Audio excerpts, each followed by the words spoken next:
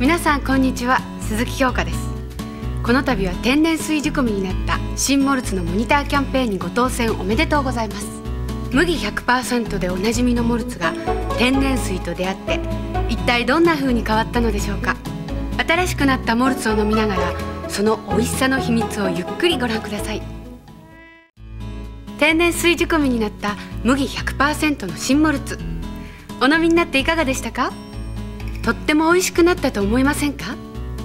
皆さんがお感じになられたことを同風のアンケートでお聞かせください。新しいモルツ。私鈴木京香ともども応援してくださいね。選ぶなら新モルツ。天然水の美味しいビールの方。はい。天然水ビールじゃない惜しい方。はい乾杯。乾杯うんうんうん。乾惜しい。麦100%のモルツが新しく天然水仕込みになった。モルツと言いましょう。ジメル。天然水の美味しいビールの人。はい。天然水ビールじゃない惜しい人。はい。乾乾杯。